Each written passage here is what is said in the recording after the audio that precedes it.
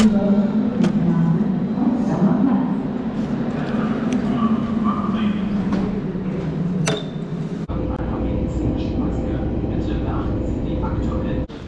I'm taking a train 75 kilometers north of Berlin to the spa town of Fürstenberg. A town that has been welcoming German tourists for years, seeking relaxation amongst its three lakes. It's a town with a very dark history.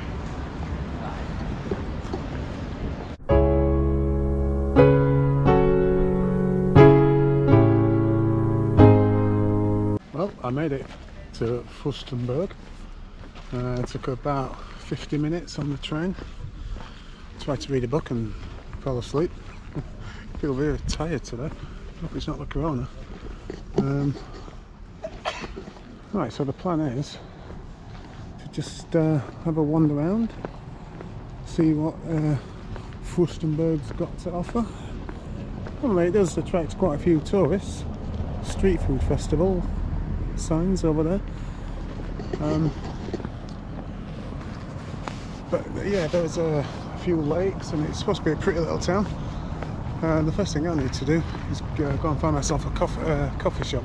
It's nice, nice little uh, view of the square with the church there.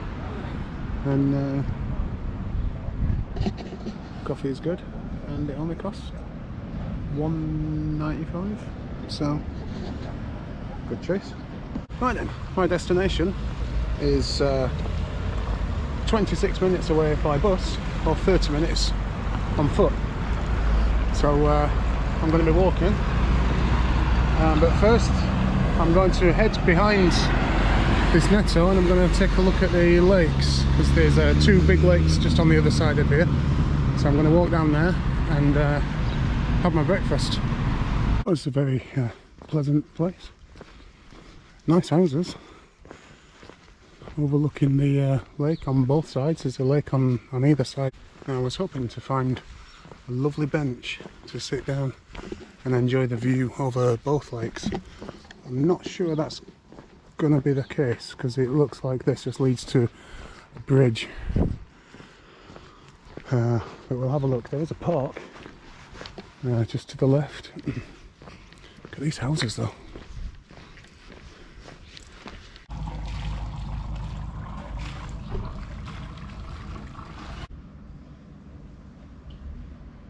Tell you what, I think uh, people live well in uh, Fürstenberg. Houses are uh, really nice, and all of these uh, be overlooking the lake as well. So they've got great views on the other side. We've got terraces and balconies. Nice little town, old Fürstenberg. So what's made me decide to uh, get on a train and travel 75 kilometres north of Berlin to this small but pleasant spa town? Well, just 20 minutes walk away from the centre of the town is a place called Ravensbrück.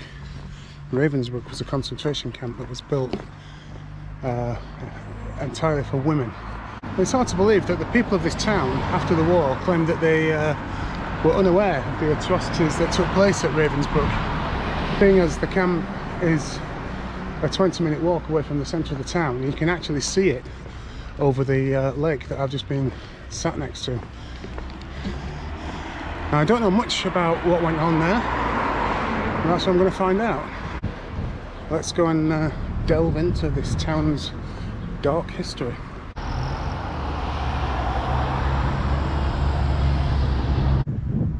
This is the first thing you see to give you some indication of uh, what to expect once you get to the camp.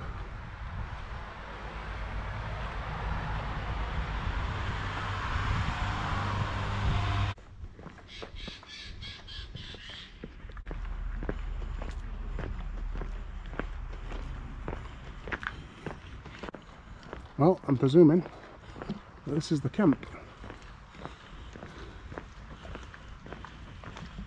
Can still see the old uh, barbed wire.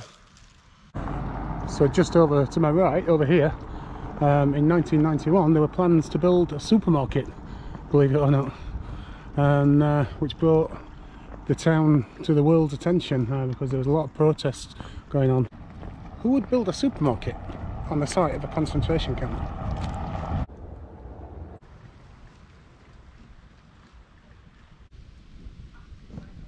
I've reached what I think is the uh, main entrance point to the camp.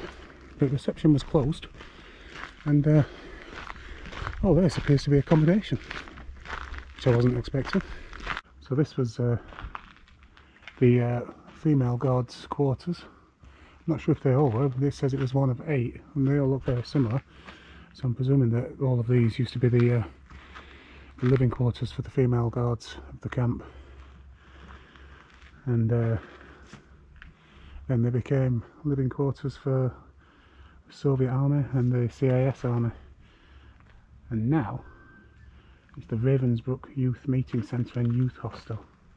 Well nothing appears to be open. Well the information place is not open. Um, there's no maps you can pick up. So uh, just say on the website that it's open today. So that's a bit disappointing um, I was hoping to just they'd at least you know leave some maps outside so people can just pick them up and wander around, but but no. There was a QR code outside uh, for an audio guide, but no sort of internet. And uh, there is Wi-Fi which you can connect to, but that doesn't work either.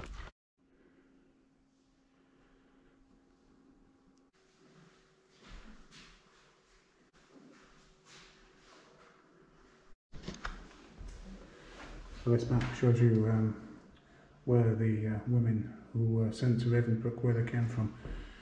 So you can see you've got 8,000 German women. Um, looks like the most of them are from Poland, 36,000, 20,000 from the Soviet Union. Um, interestingly, 38 from Britain and 2 from Ireland. Don't know how they managed to get themselves uh, sent to a concentration camp in northern Germany. So the museum for the camp is housed inside the former SS headquarters and this is where all the administration for the camp would take place and in there you discover um, all the plans and the expansion of the camp and the daily uh, life of the prisoners that were held here. One thing that is apparent is that over the um, years that the camp was in existence, how things got progressively worse. In 1939, the camp was home to just uh, 100 or so people, and uh, by 1944, there was 40,000 people staying here. Um, and there were 40 satellite camps. There was a camp for the dying, where the sick would be uh, moved to just left to die, basically. Uh, gas chambers were built. Everything that you hear about um, in other camps, such as Auschwitz, um, all took place here. And in fact, many prisoners were moved from Auschwitz to uh, Ravensbrück and were shocked at the way that people were treated. Now, how bad must things have been for people to come from Auschwitz and be shocked at the uh, treatment that they received here? Over the years, the amount of food that prisoners were given was halved. The barracks became more crowded. Barracks that were built to house 100 prisoners suddenly had 500 people living in them. And when prisoners were moved off to other camps, as soon as some prisoners left, others were arriving.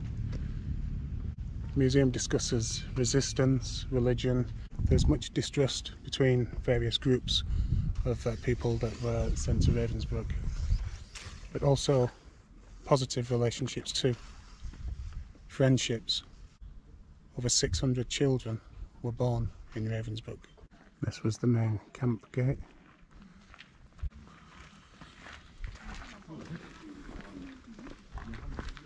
So this is the camp's main compound, which initially uh, consisted of just one main street going through the middle and then two rows of huts, which would house about 3,000 prisoners.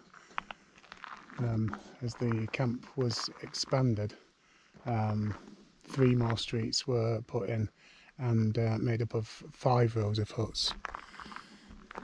canteen used to be here, and uh, when the camp first opened, people were living on uh, half a litre of soup and a little piece of bread uh, a day. The soup would basically be boiled water with um, potato peelings. And as the uh, camp expanded and the numbers increased, then that was uh, halved.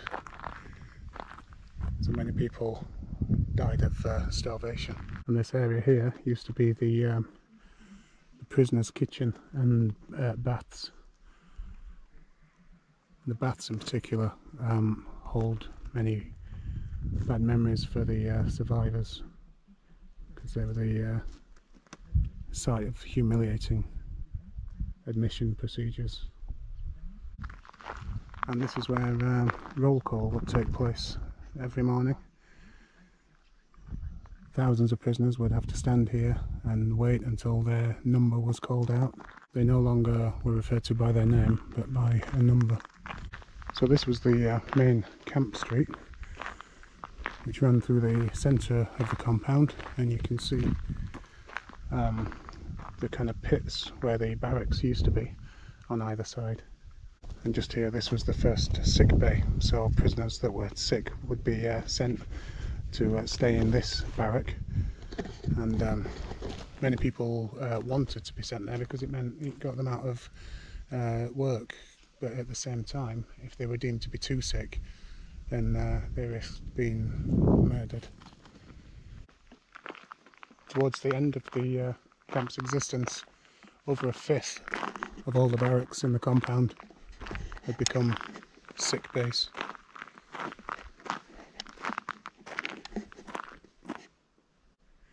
The barracks that were here um, would have been for uh, the prisoners who worked uh, who worked for the SS, and um, so they were given special privileges. They had uh, linen and um, they were had uh, better treatment than everyone else. The main reason being that the SS, because they had to work with uh, these inmates, didn't want them to get sick, so they got preferential treatment.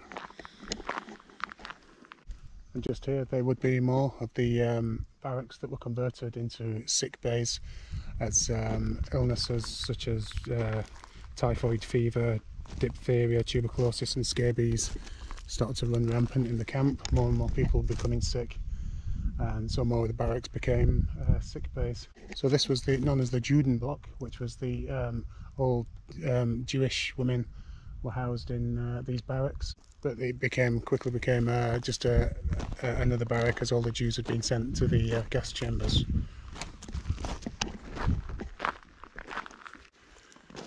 And this uh, was the uh, tuberculosis block. And one section of the room here, um, what the SS used to refer to as the idiot's room. And so uh, people who um, were struggling mentally to cope with life inside the camp would be sent to the idiot's room um, in the tuberculosis block and uh, pretty much everyone who was sent to that block were not long after sent to the gas chambers. So towards the uh, rear of the camp, this is where all the kind of workshops used to be, where the uh, prisoners were forced into slave labour. Um, there used to be a building there, which was um, a textile factory, and uh, where uh, prisoners used to make uniforms, SS uniforms, prisoners uniforms. And over here is the uh, mechanical workshops, which uh, has undergone some uh, modification since uh, the Soviet army took over this place after the uh, end of World War II.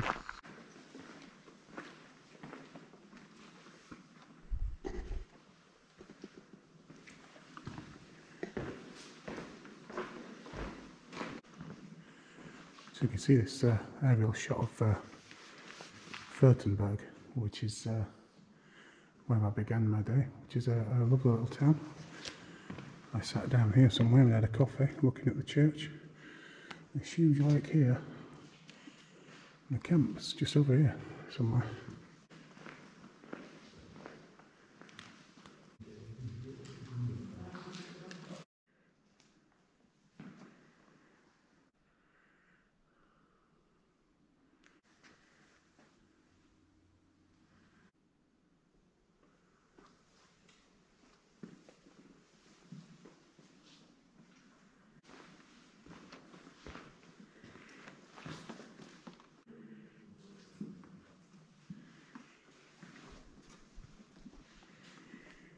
It really is quite an experience uh, when you visit places like this.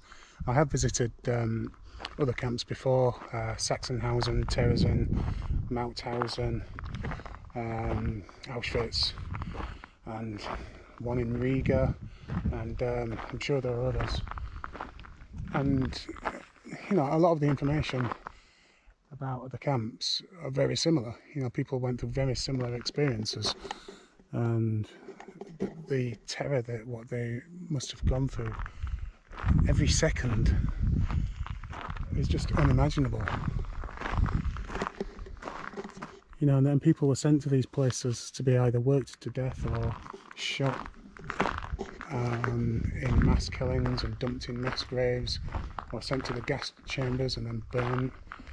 And their only crime was uh, they didn't fit in with the uh, Nazis' ideologies. They were Jewish or gypsies or homosexuals or opponents uh, to the regime.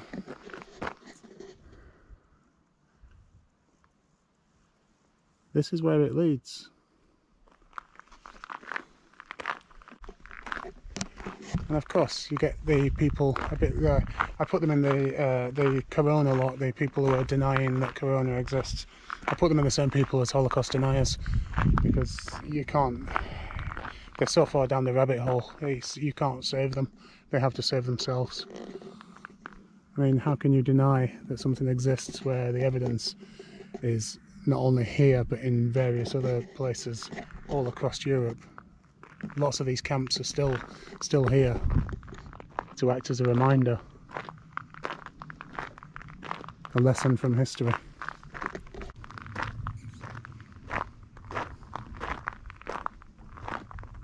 So on this side this would be where the uh, uh, men's camp used to be. Because Ravensbrück did also have uh, a men's camp. Um, they were separated. Uh, there was the women's camp and the men's camp and um, the men's camp uh, was uh, to uh, provide slave labour uh, to build more um, satellite camps as the uh, uh, as Ravensbrück expanded. Around 20,000 men were sent to Ravensbrück. Despite increasing the capacity of the concentration camp, they still couldn't keep up with the numbers of new arrivals and so it was decided that they would erect a huge tent on this spot here. And uh, this tent would uh, hold 4,000 people mainly new arrivals from other concentration camps including Auschwitz. And one of them new arrivals was Corrie ten Boom who um, was the daughter of a watchmaker in Haarlem near Amsterdam in uh, the Netherlands. And uh, she was arrested for hiding Jews uh, in the uh, house above the shop and she ended up here. And she arrived tired weak hungry and was sent into this tent and she was stood with all the other people that she'd uh, arrived with waiting to be told what would happen next. And after hours and hours of waiting uh, became to realize that nothing was going to happen next. This was where they were being put. They didn't have a room they didn't have anywhere to sleep they had no food and they had to try and sleep standing up because uh, the floor which was just like uh, straw was uh, just soggy because the toilets had overflowed into the tent. So there was a lot of disease and the SS wouldn't come in the tent. So no food nowhere to sleep tired hungry. And yet even in that situation there was comfort to be found because if the SS weren't coming in, then they weren't coming in to send them to work or to send them, you know, to be sent to the gas chambers. 4,000 people in an area this size.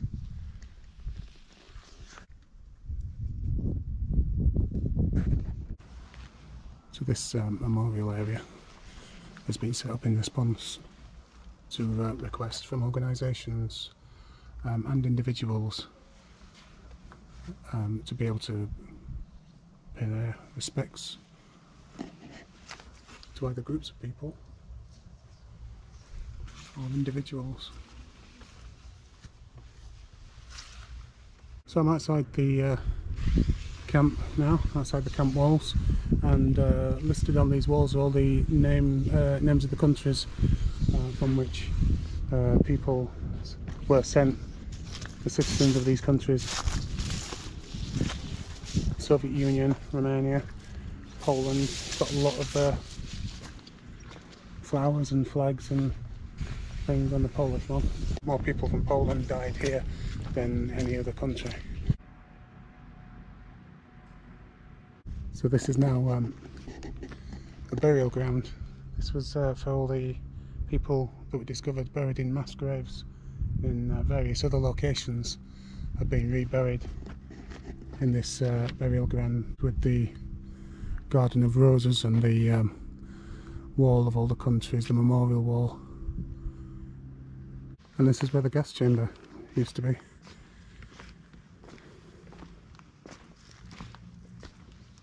Between uh, five and six thousand people were sent to a gas chamber right here.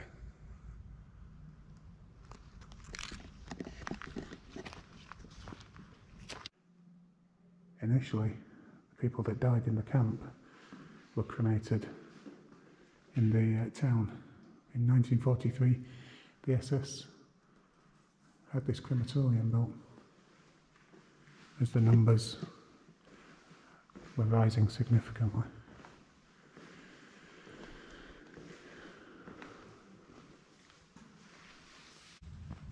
So this commemorates the um, mass shootings that took place here.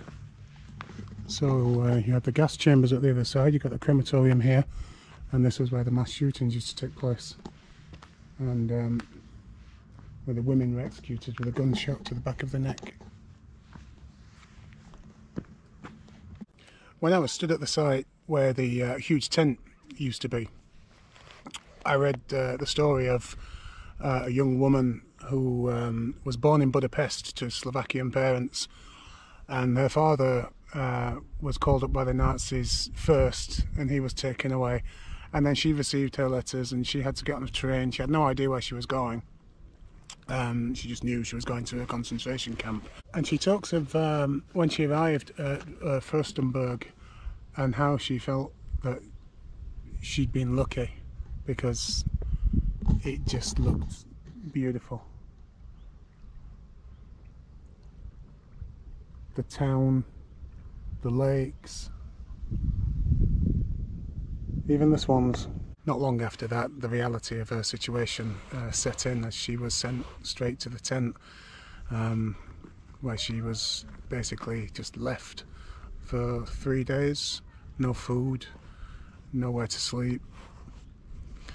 And hers is one of many thousands of people's stories.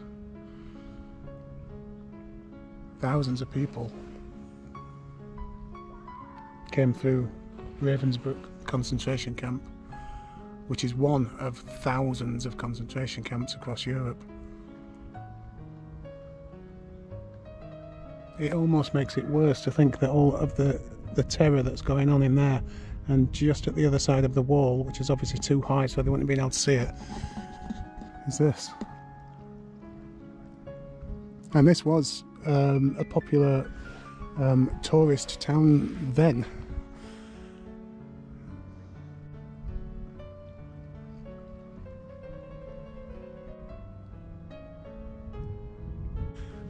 So I think this is a good place to end this vlog. On one side we have memories of a past that's just incomprehensible. Just the terror that took place behind that wall. Thousands of deaths. Unbelievable suffering and on the other side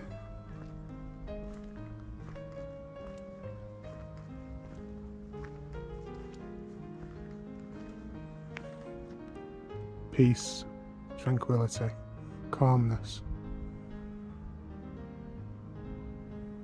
If you do come to Berlin and you are interested in um, the Holocaust and, and that uh, period of history, then get on the train. It's, it's 10 euros here, 10 euros back Come to the town, the town's lovely. Come to the camp, it's an incredible experience. I have been to many camps before, but I'm, I'm quite, this one's I'm quite blown away by this one. It's uh, moving quite a bit, to be honest. And just try and remember that no matter how awful life can be, how terrible people can be, it can also be beautiful.